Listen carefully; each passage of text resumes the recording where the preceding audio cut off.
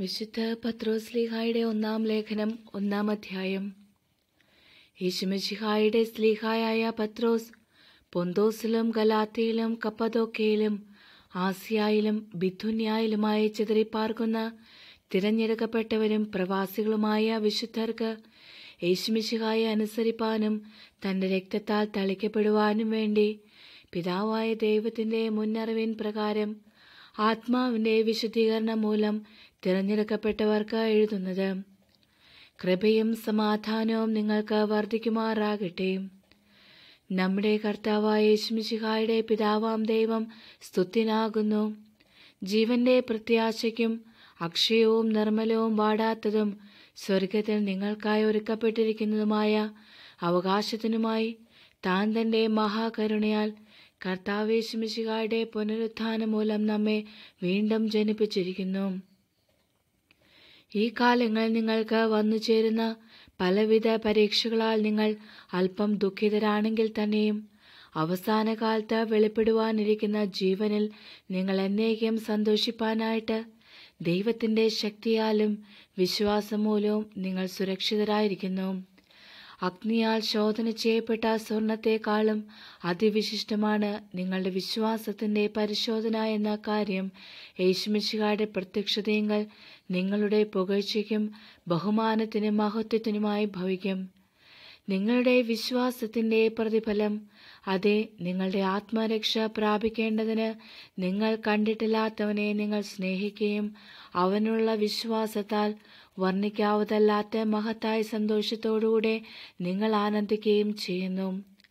നിങ്ങൾക്ക് നൽകപ്പെടേണ്ടിയിരിക്കുന്ന കൃപയെക്കുറിച്ച് പ്രവചിച്ച പ്രവാചകന്മാർ ആ ജീവനെ അന്വേഷിച്ചു. മഷിഹായ്ക്ക് സംഭവിപ്പാനിരിക്കുന്ന കഷ്ടതകളെയും പിന്നീട് വരുന്ന മഹത്വത്തെയും അവരിൽ വസിച്ചിരുന്ന മഷിഹായുടെ ആത്മാവ് മുൻകൂട്ടി സാക്ഷിച്ചപ്പോൾ സൂചിപ്പിച്ചു അവർ ആരാഞ്ഞുകൊണ്ടിരുന്നെല്ലാം അവർക്ക് വെളിപ്പെട്ടു.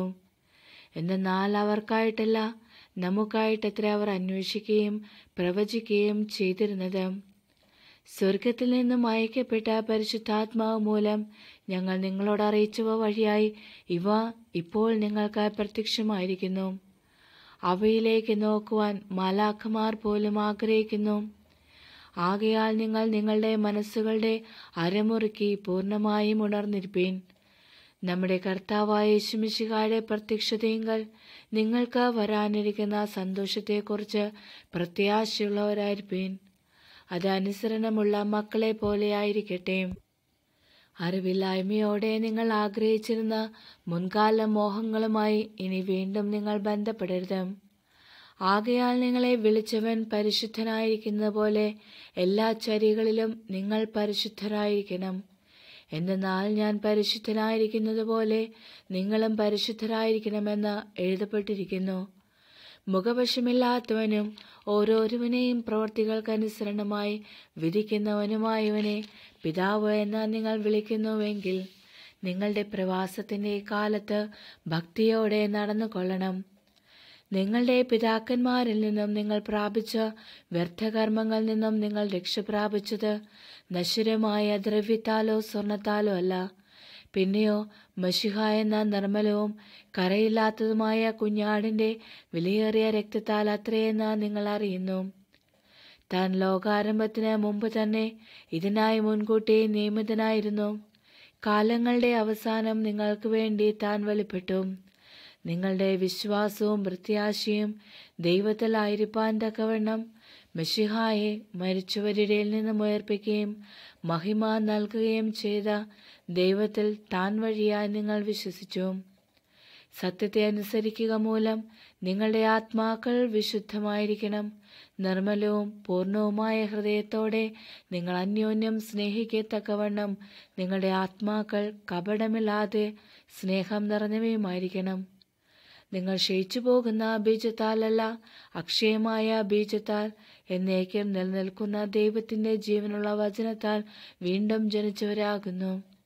എല്ലാ ജഡവും പുല്ല് പോലെയും അതിന്റെ എല്ലാ സൗന്ദര്യവും പുഷ്പം പോലെയുമാകുന്നു പുല്ല് ഉണങ്ങിപ്പോകുകയും പുഷ്പം വാടി വീഴുകയും ചെയ്യും. നമ്മുടെ ദൈവത്തിന്റെ വചനം എന്നേക്കും നിലനിൽക്കുന്നതാകുന്നു. ഇതാകുന്നു നിങ്ങളെ അറിയിച്ചിട്ടുള്ള വചനം. ദൈവമേ സ്തുതി നിനക്ക് യോഗ്യമാകുന്നു ബാരിക് മോ വിശുദ്ധ പത്രോസ്ലിഹായുടെ ഒന്നാം ലേഖനം രണ്ടാം അധ്യായം. ആകയാൽ നിങ്ങൾ നിന്നും എല്ലാ തിന്മയും എല്ലാവിധ വഞ്ചനയും മുഖപക്ഷവും അസൂയയും ഏഷണിയും അകറ്റിക്കളയണം. ഇപ്പോൾ ജനിച്ച ശിശുക്കളെ പോലെ ആയിത്തീരണം.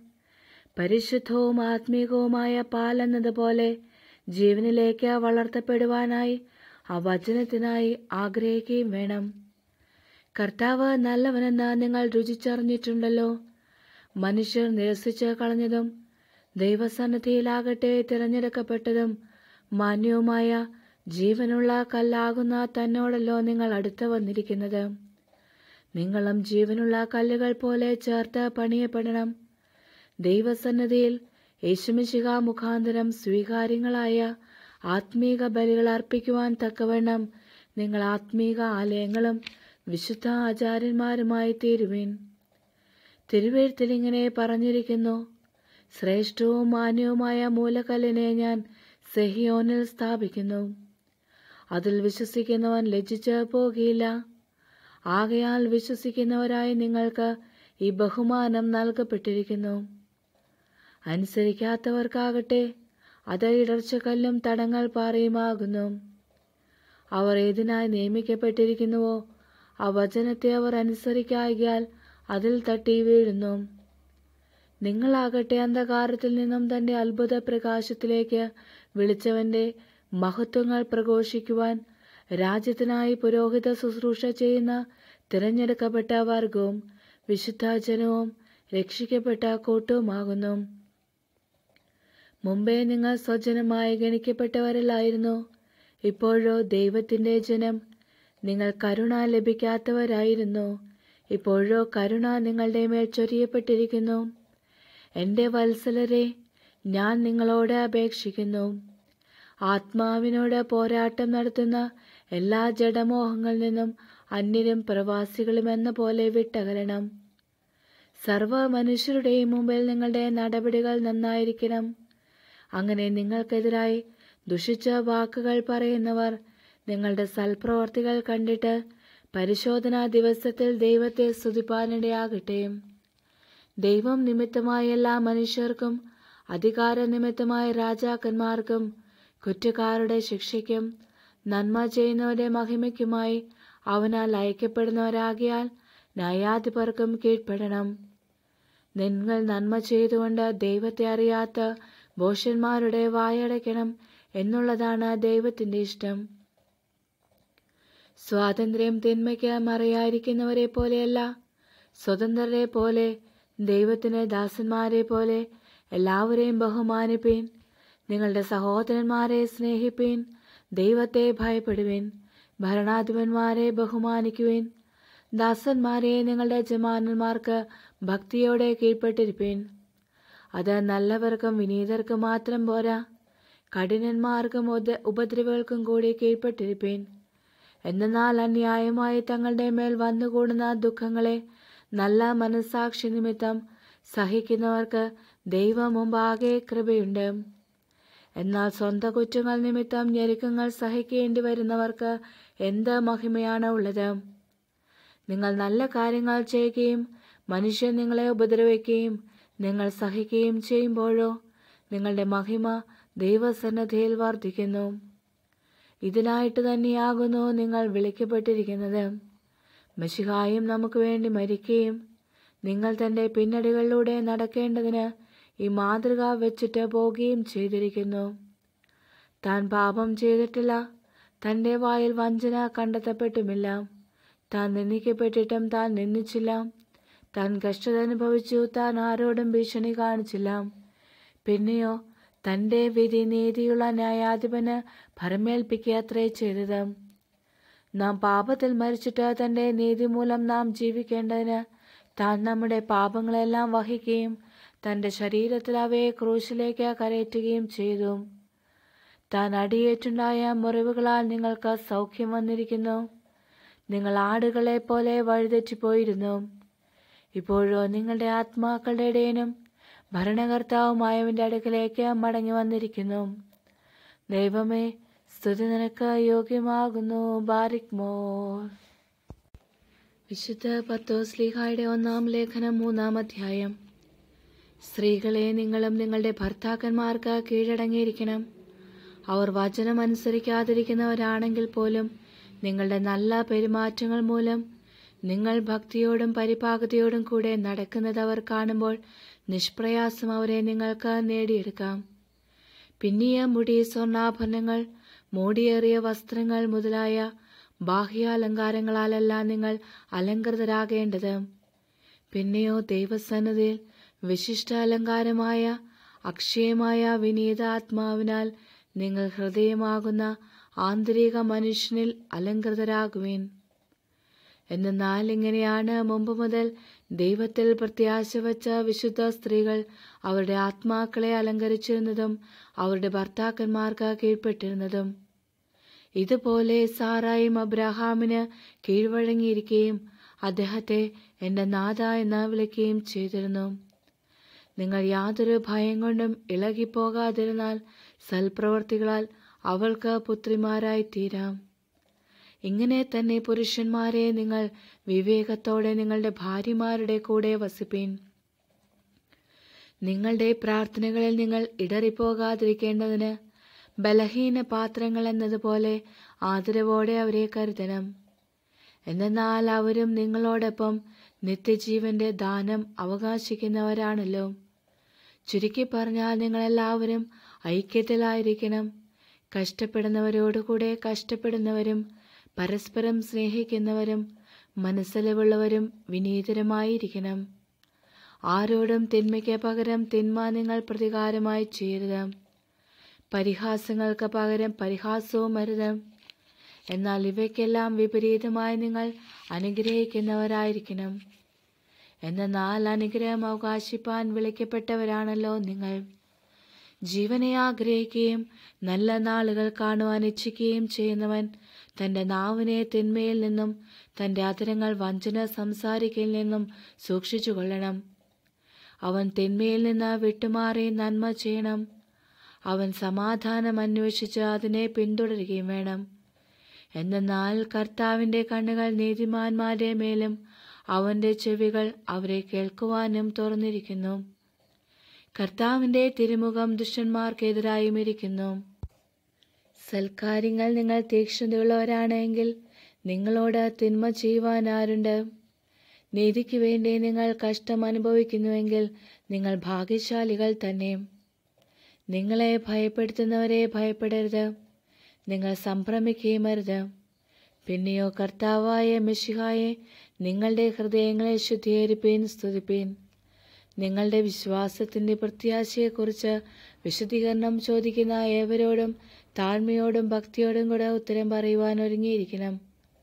ദുഷ്ടമനുഷ്യർ എന്ന പോലെ നിങ്ങൾക്കെതിരായി സംസാരിക്കുന്നവർ മഷിഹായിലുള്ള നിങ്ങളുടെ നല്ല നടപടികളെ ദുഷിക്കുന്നവർ ലജ്ജിക്കുമാര് നിങ്ങൾക്ക് നല്ല മനസാക്ഷി ഉണ്ടായിരിക്കണം.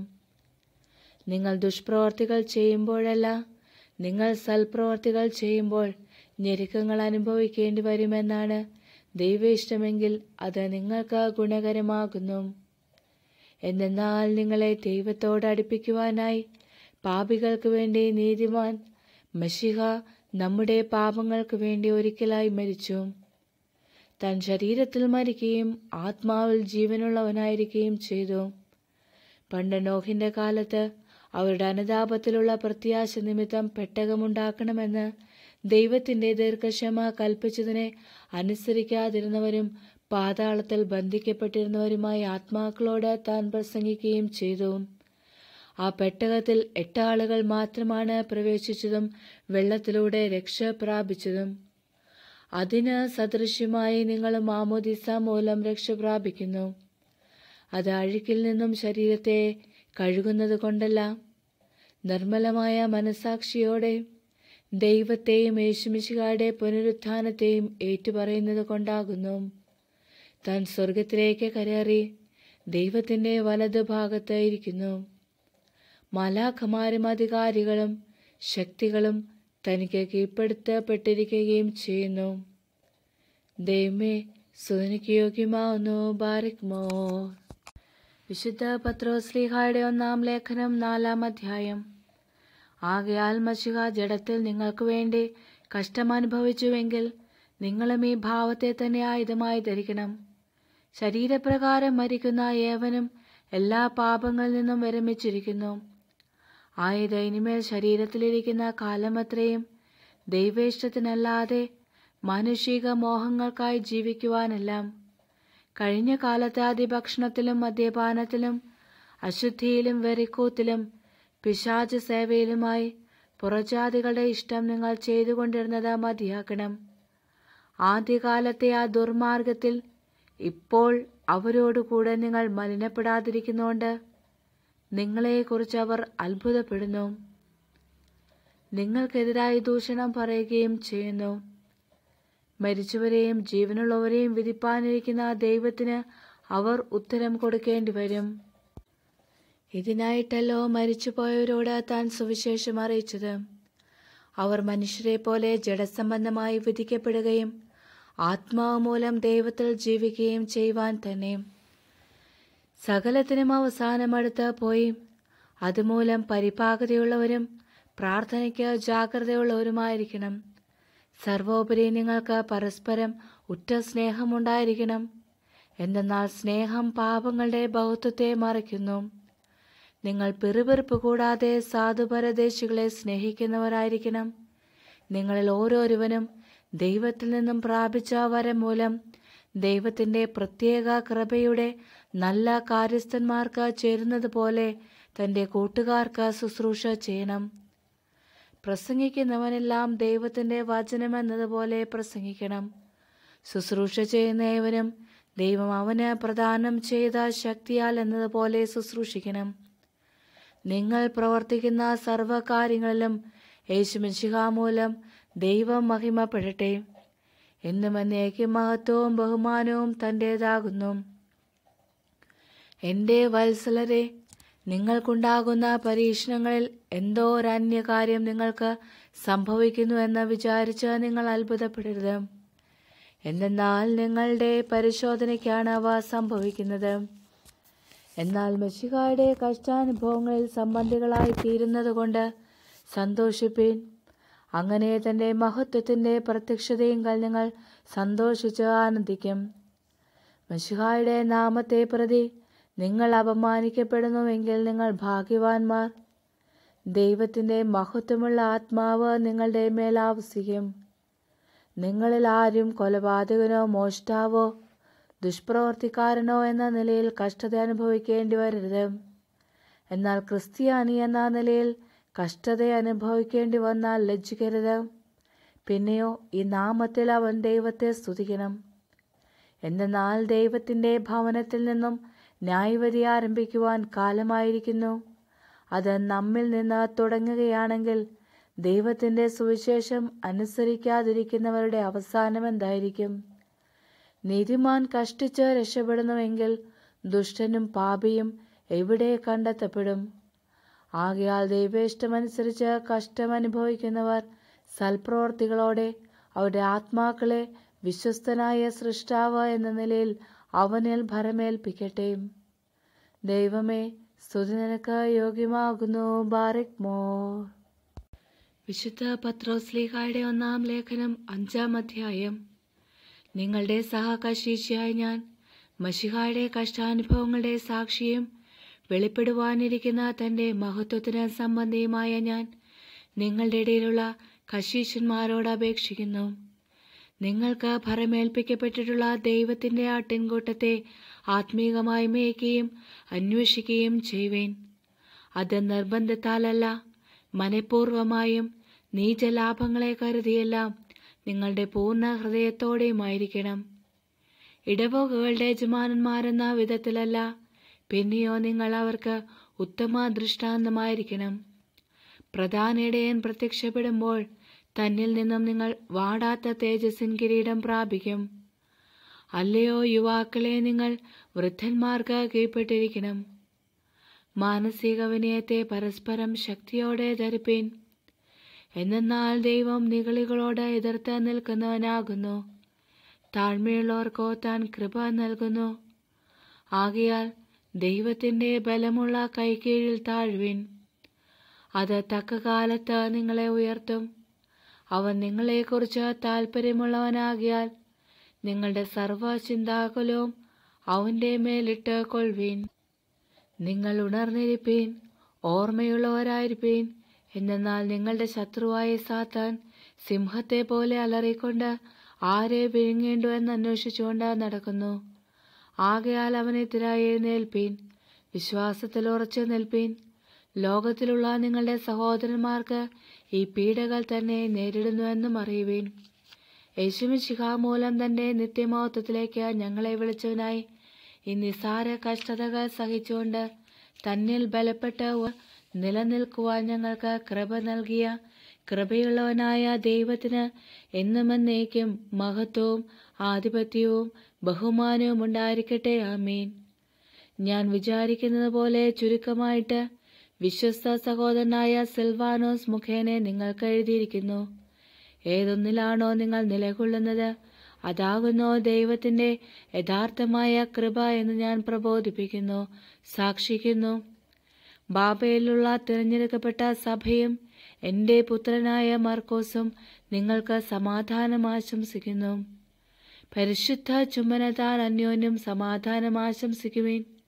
മഷിഹായിൽ സ്ഥിതി ചെയ്യുന്ന നിങ്ങളെല്ലാവരോടും കൂടെ സമാധാനമുണ്ടായിരിക്കട്ടെ. ആമീൻ. ആമീൻ. ദൈവമേ സ്തുതി നിനക്ക് യോഗ്യമാകുന്നു. ബാരിക് മോർ